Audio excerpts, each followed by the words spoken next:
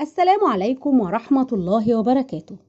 سنقدم إليكم اليوم تفسير حلم الحذاء في المنام. أولاً تفسير حلم شراء حذاء جديد للعزباء.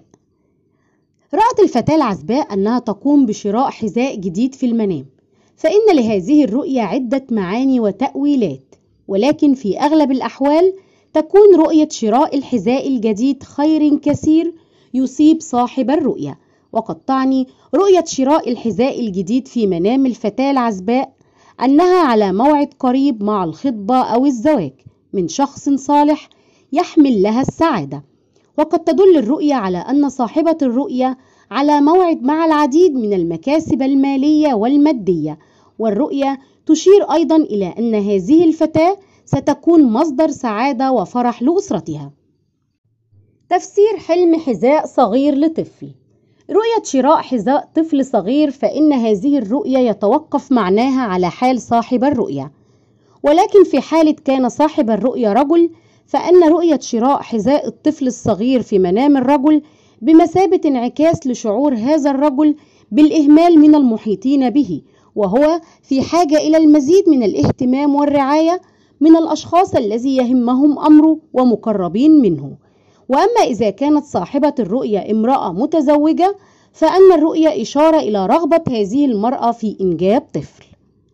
تفسير حلم المشي بدون حذاء لابن سيرين وأما من يرى في منامه أنه قد فقد حذاءه ويمشي حافيا بدون حذاء فأن رؤية المشي حافيا بدون حذاء تشير إلى ما يمر به صاحب الرؤية من كرب وضيق وشدة وقد يكون ذلك دليل على أن صاحب الرؤية يتعرض لخسائر مالية أو يمر بوعكة صحية كأن يصاب بمرض ما.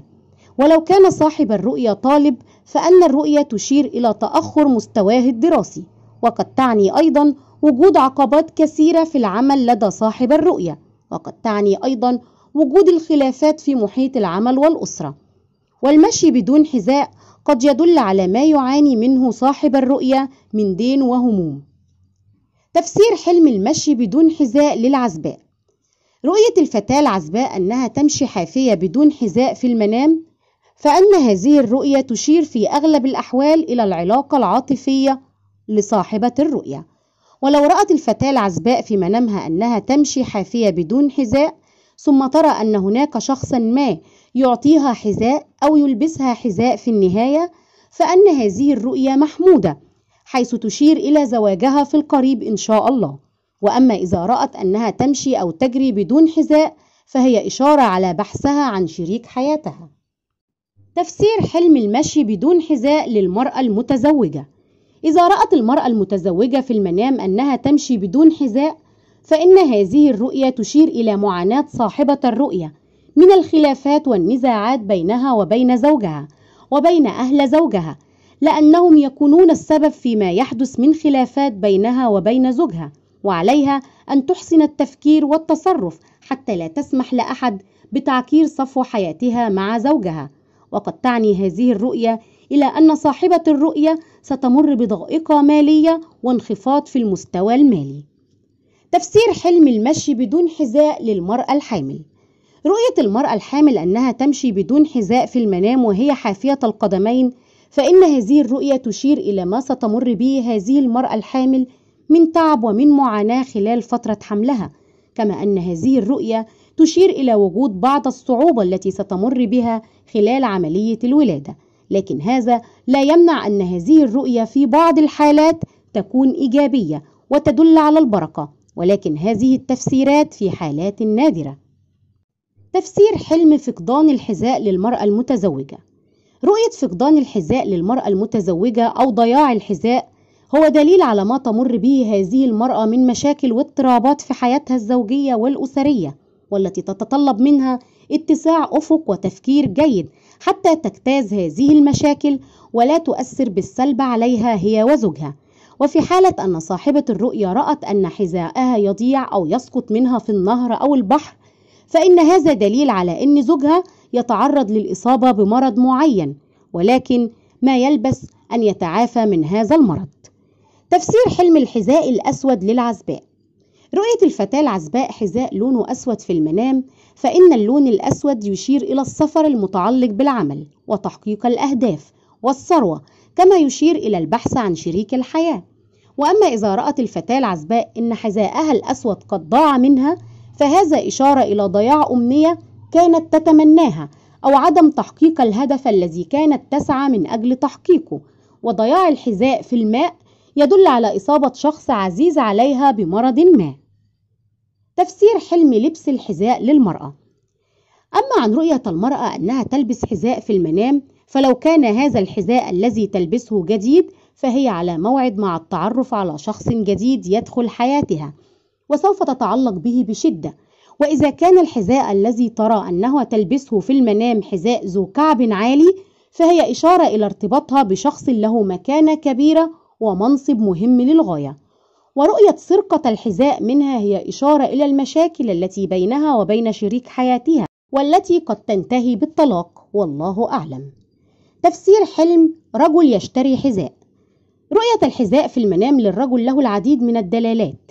فإن رؤية شراء الحذاء الجديد المريح تشير إلى أن صاحب الرؤية على موعد مع سماع أخبار جيدة وسعيدة وإذا كان الحذاء الذي رآه صاحب الرؤية قديما وممزقا فهذه إشارة إلى ما يوجد في حياة صاحب الرؤية من صعوبات وعقبات في طريقه وإذا رأى صاحب الرؤية أنه يقوم ببيع الحذاء فهذه إشارة إلى أنه سيتغلب على مشاكله ويجتازها مع وجود المساعدة من شخص قريب.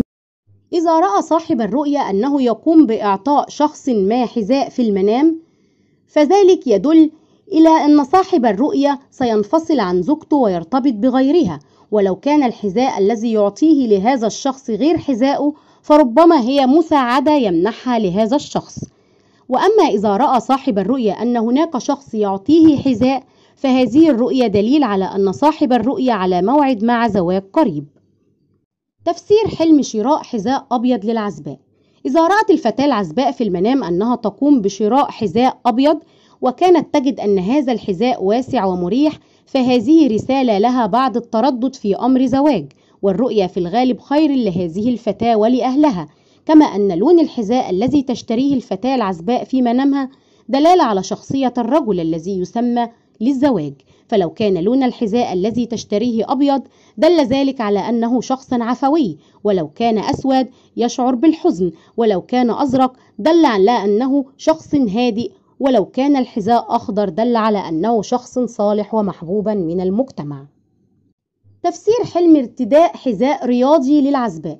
إذا رأت الفتاة العزباء في منامها أنها تقوم بارتداء حذاء رياضي فإن هذه الرؤى من الرؤى المحمودة للغاية وتحمل البشرى لصاحبة الرؤية خاصة إذا كان الحذاء الرياضي التي رأت أنها تقوم بارتداؤه في المنام لونه أزرق حيث تشير أن هذه الرؤية لتحقيق الكثير من الأمور الإيجابية في حياة صاحبة الرؤية. فلو كانت طالبة فهي مع موعد مع النجاح ولو كانت تمر بمشاكل مع الأسرة والعائلة فأن هذه المشاكل والمنازعات ستنتهي ولو كانت تخاف أو تخشى من شيء ما فأن الرؤيا بشرى لها بالأمان والطمأنينة.